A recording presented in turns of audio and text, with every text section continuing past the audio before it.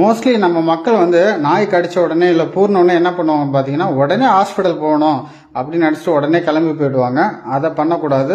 முதல் முதல்ல வந்து நீங்கள் என்ன பண்ணணும் அப்படின்னா ஹாஸ்பிட்டல் போகிறதுக்கு முன்னாடி ஊண்டு வாஷ் அதுதான் ரொம்ப ரொம்ப முக்கியமான ஒரு விஷயம். ஏன்னா நாய் கடிச்சிருக்கோ இல்லை கீழே இருக்கோ அந்த இடத்த வந்து நீங்கள் சோப்பு போட்டு நல்லா வாஷ் பண்ணணும். வாஷ் பண்ணுறது வந்து கிட்டத்தட்ட ஒரு பத்து டு பதினஞ்சு நிமிஷம் ஓடுற தண்ணியில் வாஷ் பண்ணணும். அதாவது ஒரு டேப் வாட்டர் பைப் வாட்டர்னா அதை திருப்பி விட்டுட்டு நம்ம கா கடிச்ச இடத்த வந்து அந்த ஓடுற தண்ணியில் பத்து முதல் பதினஞ்சு நிமிஷம் நல்லா வாஷ் பண்ணாவே அந்த ரேபிஸ் கிருமி கிட்டத்தட்ட முழுசுமாக வந்து வெளியேற்றப்பட்டு விடும். அதை வந்து நிறைய பேர் தெரிய தெரியாமல் இருக்காங்க மறந்து போயிடுறாங்க. அதனால் ஹாஸ்பிட்டல் போகிறதுக்கு முன்னாடி இந்த ஊண்டு வாஷ் ரொம்ப ரொம்ப முக்கியமானது.